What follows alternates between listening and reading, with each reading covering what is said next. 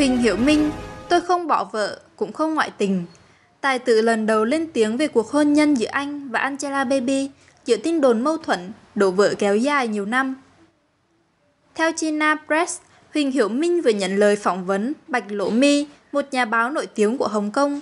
Nữ ký giả đang thẳng thắn đặt câu hỏi được nhiều người quan tâm hiện nay, tình trạng hôn nhân vợ chồng anh thế nào?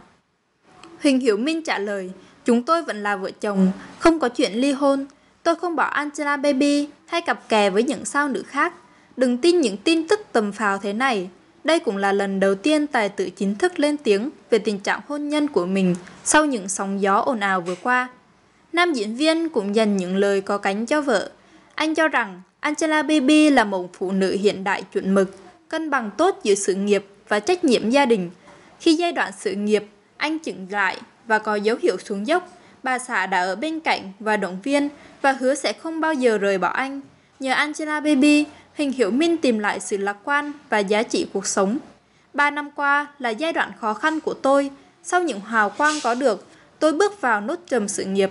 Tôi vẫn đang nỗ lực từng ngày để bước ra và nắm lấy cơ hội cho mình. Anh nói, nam diễn viên hiện tham gia một dự án phim truyền hình sau thực tế và nhận thấy sự nghiệp đang thăng tiến trở lại. Trong khi đó, vợ anh, Angela Baby vẫn giữ được sức hút đối với các nhà sản xuất và nhãn hàng.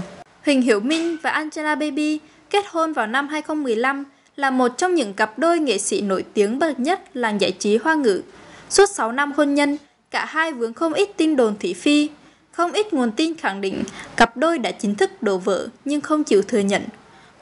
Cùng với đó, việc đôi vợ chồng thời gian dài không xuất hiện và không tương tác nhau càng khiến mọi việc trở nên ẩm ĩ. Giữa ồn ào, phía vợ chồng diễn viên đều một mực im lặng Cặp đôi thông qua người đại diện khẳng định sẽ không bao giờ lên tiếng để làm ảnh hưởng đến con trai và người thân của mình.